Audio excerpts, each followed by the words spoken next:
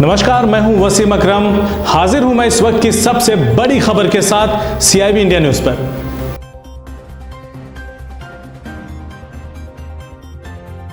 योगी राज में भाजपा कार्यकर्ताओं ने की एसडीओ की पिटाई।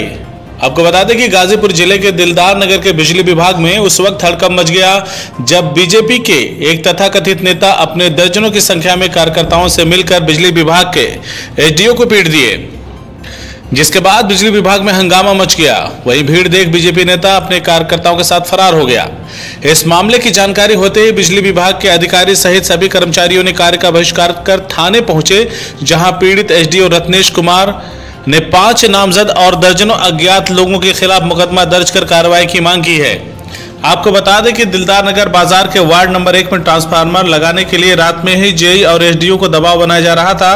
लेकिन रात में ट्रांसफार्मर नहीं लगाने से नाराज़ बीजेपी नेता ने दर्जनों की संख्या में कार्यकर्ताओं के साथ जेई को खोजने के लिए विद्युत उपकेंद्र दिलदार नगर पहुँच गए, लेकिन जेई नहीं मिली।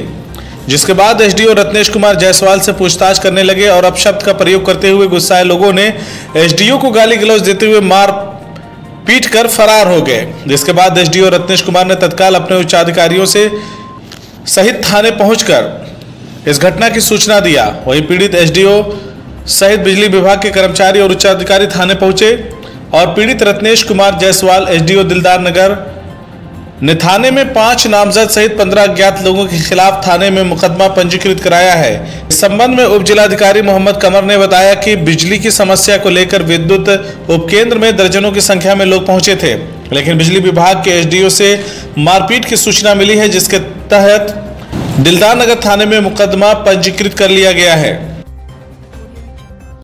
एक इकट्ठा हो गई, जो भी वहाँ पे उपभोक्ता थे, बिजली बिल जमा करने आए थे या कुछ भी था, ये सब के सामने वही गालियाँ देते रहे और खुद ही वही आरोप लगाते रहे कि ये मेरे कार्यकर्ता को जाति सूचक शब्द बोल के गाली दे रहा था और पुलिस बुलाओ, दोनों पार्टी जाएगी थाने में, इस तरह के करते रहे। मेरा मोबाइल चेंज हुआ था, मेरे पास नंबर नहीं था एस साहब का, दूसरा मोबाइल भी मैंने चेंज किया था।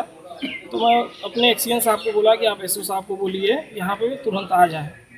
तब तक एस साहब आए, ये लोग अपना वहाँ से निकले। मैं भी निकला। एस साहब बोले, आप चलिए थाने। में कहा, मैं तहरीर लेके आता हूँ। मैं जा रहा हूँ अभी डिवीज़न ऑफ़िस अपने एक्सीएन साहब वहाँ से मैं निकला।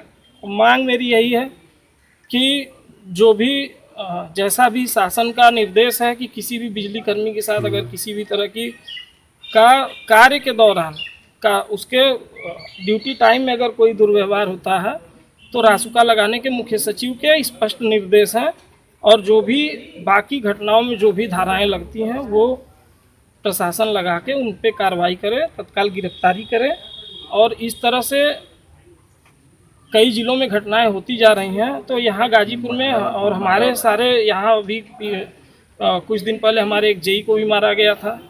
तो अगर इस तरह घटनाएँ होती रहेंगी तो लोगों का मनोबल बढ़ता रहेगा। वो किसी भी पार्टी के हों, हमें नहीं पता है। और लेकिन हमारी यही मांग है उनकी गिरफ्तारी हो जो भी नियम कानून के दायरे में जो भी धाराएँ हैं जैसा भी मुख्य सचिव का निर्देश है उसका अनुपालन अनुपालन हो। सर घटना के बाद से आपूर्ति बंद की गई है घटना के बाद से कोई आपूर्ति कहीं नहीं बंद की गई है। जो भी मेरे साथ लोग हैं ये हमारे साथ के भी अधिकारी कर्मचारी हैं। घटना के बाद हमने किसी को आपूर्ति बंद करने का निर्देश नहीं दिया। मैंने खुद ही ये कहा कि आप लोग विद्युत आपूर्ति बहाल रखो। इवन मैंने कैश काउंटर भी मेरा बंद कर हो गया था। मैं उसको बोला जो दो चार लोग हैं आप उसको जमा कर लो। इसके बाद आप मेरे साथ चलो क्योंकि वो साक्षी वही थे घटना सर हुई है। बिजली विभाग के इतने अधिकारी और कर्मचारी लोग आपके यहाँ आए हैं। क्या है सर पूरा मामला घटना ये कि आज मुझे उनसे साथ में सूचना दी कि एस के साथ ऑफ़िस में कुछ लोगों ने मारपीट की है तो मैं मौके पर पहुँचा और एस ने बताया कि ऐसी घटना हुई है। सर इसमें कार्रवाई की जा रही है? आज इसमें कार्रवाई की जा रही है। एफ़ आई आर दर्ज की जा रही है। अगर आपको हमारी खबर अच्छी लगी तो खबर को लाइक करें शेयर करें और चैनल को सब्सक्राइब ज़रूर करें। साथ ही स्क्रीन पर दिख रही घंटी को दबाएँ ताकि आप तक हमारी सभी खबरों के नोटिफिकेशन पहुँचते रहें।